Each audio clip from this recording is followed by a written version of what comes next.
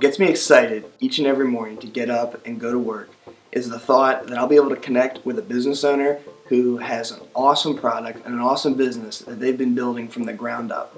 We get on the phone, we start talking about what's your pain point, you know, where, where are you having some challenges right now, they just start telling their story and you can tell they're fired up about the thing that they have to offer but they're just having a hard time reaching a new audience. A lot of them know that they need you know a website designed for conversion or they need some sort of social media plan or we'd really like to be email marketing but they don't really know how to put all the pieces together and so we kind of sit back and we listen and we talk and we get to know their business a little bit and that's awesome because that's when you find the passion. One of my favorite things is sitting down with a client after we've first partnered with them and getting to know them and their product better. Then we dig into their sales process, all their customers, what their pains are, and really go through step by step and figure out what is the best approach that we can take to engage these people and really provide them with a sales process that they'll buy into immediately. Inbound marketing, it takes all those things that they know that they need and brings them together under one solid methodology.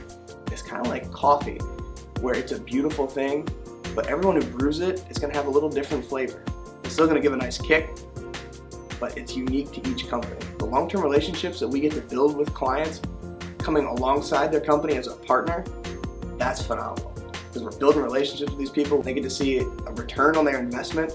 You know, marketing ROI, that's been so hard to measure in the past. We use technology now to link all this stuff together and actually show you how much you're getting returned. return our ability to deliver that is so exciting because we can see that the efforts that we're bringing into companies, helping them grow to reach new, to reach new customers, to reach new prospects, that gets me fired up and excited.